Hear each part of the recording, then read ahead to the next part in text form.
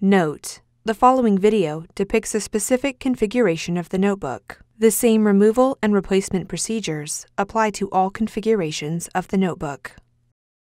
Before you begin, remove the bottom cover, battery, optical drive or optical drive dummy,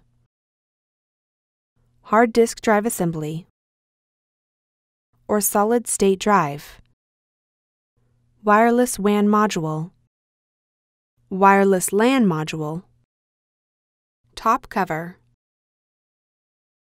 and system board. Removal Remove the power button board ribbon cable from the adhesive that secures it to the speakers. Remove the two 3mm P1 Phillips head screws that secure the power button board to the top cover. Lift the power button board off of the alignment pins on the top cover and remove.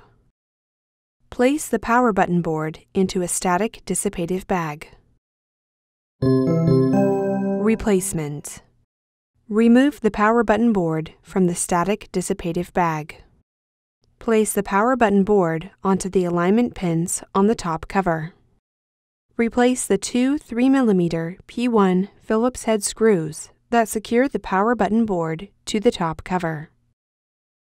Apply pressure to the length of the power button board ribbon cable to adhere it to the speakers.